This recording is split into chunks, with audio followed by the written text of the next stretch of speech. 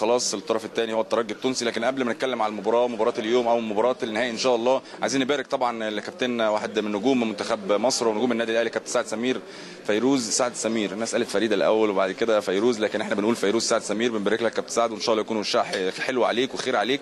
النهارده شايف الماتش إزاي؟ وحابب تقول الأول عن التهنئة والتورتة والكلام الجميل جدا ده.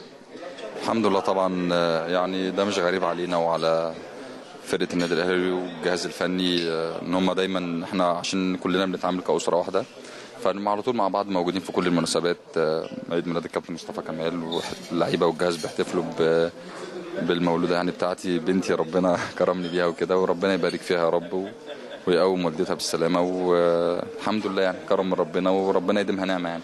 كرم ربنا كمان النهارده تأهلنا للمباراة النهائية. الظروف كانت صعبة جدا يا كابتن سعد يمكن الأجواء والجمهور. إحنا متعودين على الكلام ده لكن كل مباراة بيبقى لها ظرف معين.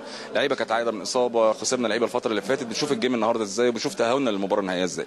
والله الحمد لله وإحنا بيبقى عندنا هدف آه، مهم وهدف رئيسي هو التأهل للمباراة النهائية. ده اللي إحنا مركزين فيه. إحنا ربنا كرمنا في مباراة الذهاب 2-0 وكنا ممكن نزود النتيجة. فإحنا برضو بيبقى فيه تعامل بخبرة وذكاء شوية في في الماتشات اللي هي اللي بره ملعبك. تحاول أنت تمتص آه، ال- الحماس بتاع الفرقة التانية بالذات في البداية وبتحاول أنت يعني تستغل الفرص اللي بتجيلك. يمكن بره ما بيجيلكش فرص كتير زي على أرضك. جالنا في فرصتين ثلاثة كنا ممكن نخلصهم وكانوا سهلين جدا لكن ربنا ما أرادش. آه، يعني الماتش كان ماشي بالن- بالنسبة لنا وبالنسبة للفرقة الثانية السجال لحد الهدف الأول. الهدف الأول يمكن اداهم حماس شوية واداهم رغبة إن هم عايزين يعوضوا. وبعدين آه، جه الهدف الثاني فاحنا يعني المفروض إن إحنا كنا نتماسك أكتر من كده شوية. المفروض إن إحنا كنا عندنا صبر أكتر من كده شوية. لكن ده طبيعي زي ما أنت بتقول. الأرض برضو آه، عليها عامل كبير. بنلعب على نجيل صناعة برضو مش متعودين عليه قوي. وبعدين كان في سنة مية مأثرة على الأرض. آه، في أنا والسوليه راجعين من إصابة بقالنا فترة. وميدو جابر برضو.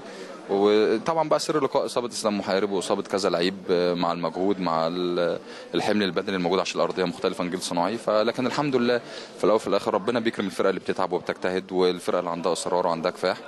ولعيبة النادي الأهلي كلهم رجالة فربنا كافئنا بال- بال- بالصعود يعني الحمد لله. تتفق معايا إن إحنا لسه ما حققناش حاجة كابتن سعد؟ لسه ما عملناش حاجة لسه عندنا خطوة مهمة جدا وهي المباراة النهائية. تتفق معايا في الكلام ده ولا لأ؟ إحنا متعودين في النادي الاهلي بنتعامل ال- ال- المباراة كل مباراة على حدة يعني. إحنا خلصنا من الدور قبل النهائي وخلصناه عندنا الدور النهائي. إحنا ما بنحتفلش دايما إلا مع إن إحنا نشيل الكاس إن شاء الله بإذن الله. يا رب ربنا يكون كاتبها لنا من نصيبنا إن شاء الله. ودي أهم حاجة. الحاجة التانية إحنا لسه عندنا ماتش صعب جدا مع الترجي. مباراة مش سهلة انت بتلعب فريق كبير جدا فرق دايما بينافسك في أفريقيا. دايما آه، المنافسة ما بينكم قوية. الحاجة التانية الترجي هيبقى عليه آه، يعني عندنا إحنا استعداد خاص لأن المباراة صعبة مباراة صعبة جدا جدا سواء في القاهرة أو اللي في تونس لما بتكون بتلعب فرقة قوية وبتنافسك دايما وفي ما بينكم ماتشات لصالحك الفترة اللي فاتت أكيد هيبقى عندهم رغبة قوية للتعويض عندهم رغبة قوية إن هم يثبتوا العكس. فإحنا إن شاء الله بإذن الله نبقى مستعدين للكلام ده وعندنا إصرار إن إحنا إن شاء الله آه، البطولة تبقى بتاعتنا إن شاء الله. تقول لكل جمهور النادي الأهلي كانت فرحة كبيرة جدا في القاهرة بعد التأهل للمباراة النهائية. كابتن سعد سمير ممكن يقول لكل جمهور النادي الأهلي اللي على قلب رجل واحد زي ما فريق النادي الأهلي على قلب رجل واحد. أكيد طبعا إحنا مفتقدين جمهورنا في الماتشات اللي بتبقى بره بالذات لكن حتى المجموعة القليلة اللي بتبقى موجودة بيبقوا آه، يعني بيشرفونا وبيدونا دافع وبنحس إن في ظهر ورانا دايما.